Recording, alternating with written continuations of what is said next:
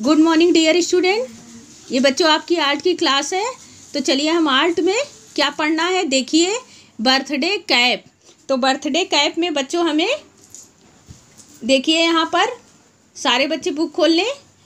देखिए यहाँ पे आउटलाइन से जो कलर हुआ है कैप में, वही कलर वहाँ पर आपको करना है।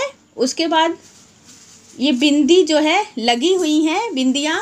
तो यहाँ पर आपको कलरफुल बिंदी लगी हुई है। इसी तरह आपको इस कॉलम में बिंदी पेस्ट करनी है और जहाँ जिस कलर से आउटलाइन है, उसको आपको उसी कलर से भरना है, कलर करना है उस जगह। और फिर बिंदियाँ कलरफुल पेस्ट करनी है, जहाँ पर बिंदियाँ लगी हुई हैं आपके कैप में और इसको अच्छे से कलर करिएगा। बच्चों, नेक्स्ट पेज में देखिए। Paper house. पेपर हाउस में आपको ये क्राफ्ट है आपका। तो इसमें एक आपको प्लेन कलरफुल पेपर ले करके आपकी बुक में दिया हुआ है। फाइव स्टेप में है। तो इस तरह से बुक में देखिए और इसको स्टेप बाय स्टेप फोल्ड करिएगा और उसी तरह इसको आपको एक ब्यूटीफुल हाउस सुंदर सा बनाना है और अच्छे से प्रैक्टिस करिएगा। Thank you.